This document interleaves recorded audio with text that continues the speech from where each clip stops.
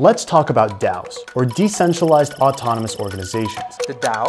The DAO. DAO. DAOs. They are some of the most complex entities on the blockchain, and to most people, they are just another blockchain bubble buzzword.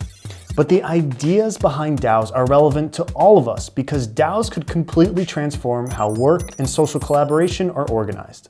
I'm Jackson, Director of Video Production at Cointelegraph, and in this video, you'll learn what a DAO is, how they are created, and why they may become a crucial part of our future. Don't forget to subscribe to our YouTube channel for news and videos about crypto. We are the leading channel for crypto news coverage and education.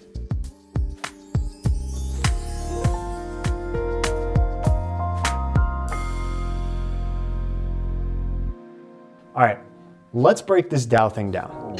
The concept of a DAO was initially developed by this man, Werner Dilger. He was a renowned German computer science teacher who published a work titled Autonomous Decentralized Organization of the Smart Home according to the principle of the immune system in 1997.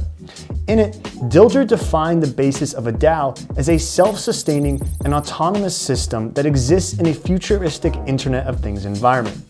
That's a bit of a mouthful. So basically what he's saying is that a DAO is a digital system that runs entirely on its own and interacts with a bunch of other different digital systems.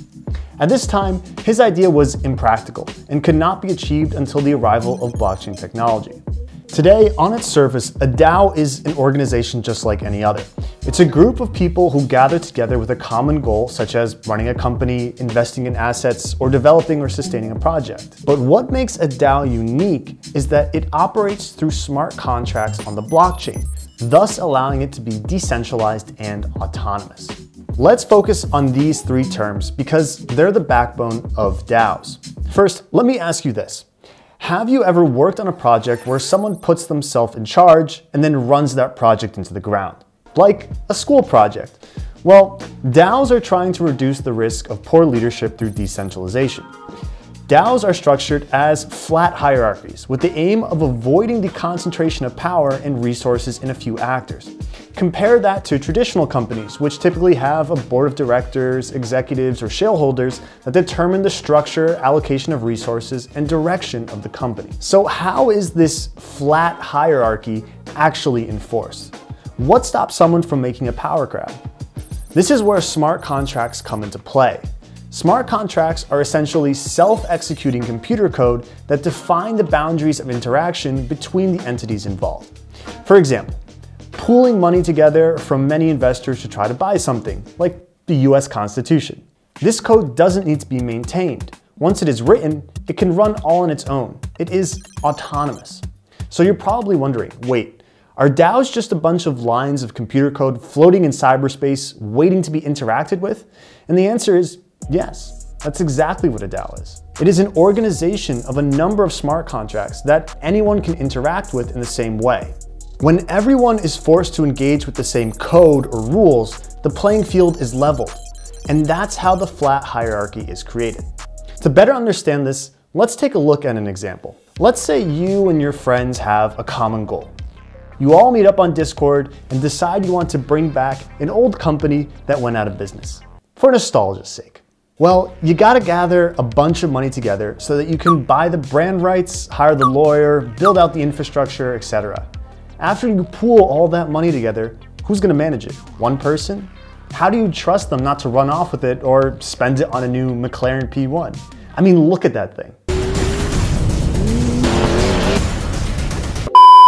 What you do is you ask that friend of yours who's a software engineer to code you a DAO. Now you and your friends can put your money into a smart contract that, in return, gives you all tokens, which you can use to vote on how to spend the money. But now that all your money is together, you realize you don't actually have enough to buy the rights to that old company. You need to get more people to support this project. So you share the DAO on Twitter, Facebook, and other Discord groups. People like the idea. They remember that old company very fondly. The idea catches fire. People from all over the world are engaging with the DAO, depositing money, receiving governance tokens, and voting on proposals.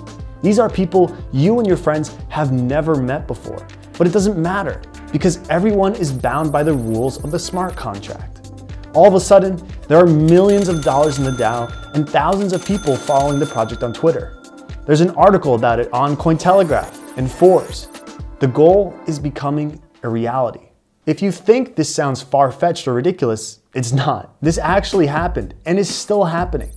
Blockbuster DAO, named after the old video rental company, is creating a DAO to transform the brand into the first ever decentralized filmmaking and streaming platform.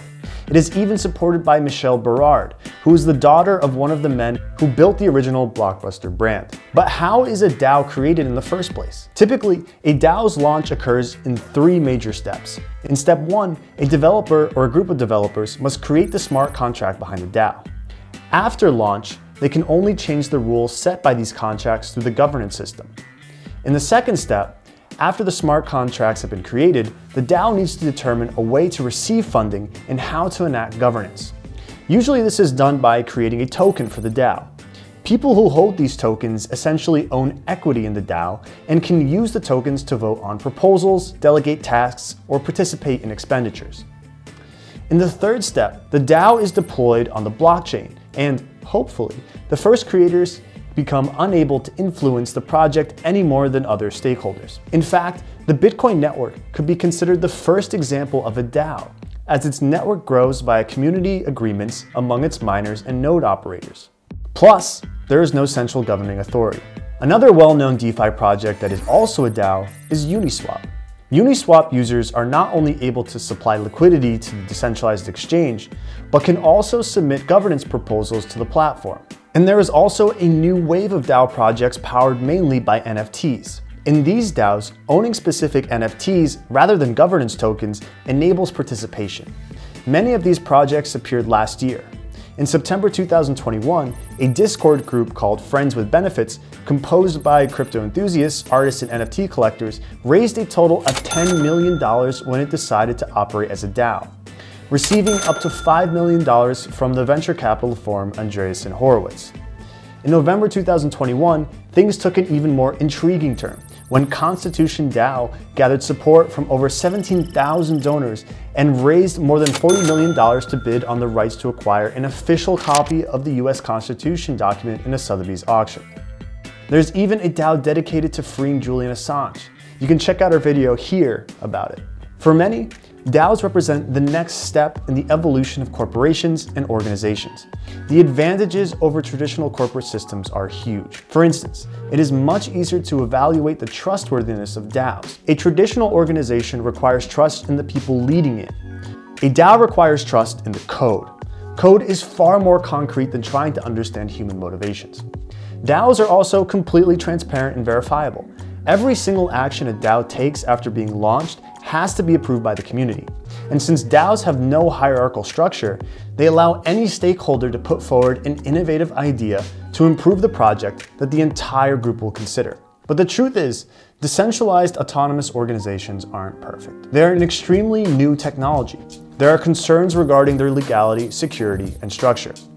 This brings us to the unique case of the DAO. The DAO was one of the most known DAO projects until today. It was built as a company governed entirely by code, with no human-led governance. It was also the DAO with the most ever funding, but is perhaps best known for its demise. The DAO was built on Ethereum in 2016 by the engineers Simon and Christoph Jentzsch. Their goal was to create the largest DAO of its time. They managed to raise an incredible sum of $150 million, one of the largest crowdfunding campaigns in history. But the dream was short-lived. A vulnerability was discovered in the DAO's code and a hacker seized $50 million. This was catastrophic for the DAO and even changed the face of blockchain as we know it today. In June 2016, the Ethereum community controversially decided to hard fork the Ethereum blockchain as a way to restore virtually all funds to the original contract. This split the Ethereum blockchain into two branches, each with their own cryptocurrency, where the original unforked blockchain continued as Ethereum Classic. All of this shows that, although powerful, participating in DAOs can be a risky endeavor. DAOs could fundamentally revolutionize how companies, organizations, and groups are structured. Anyone can create a DAO to finance projects, govern communities, or to bid for an original copy of the American Constitution. This is what crypto was created for, to create strength through decentralized cooperation. If you enjoyed this video, be sure to like it, leave us a comment below, and don't forget to subscribe to our channel. The Cointelegraph Cryptopedia is your guide to the chaotic space of blockchain and cryptocurrency.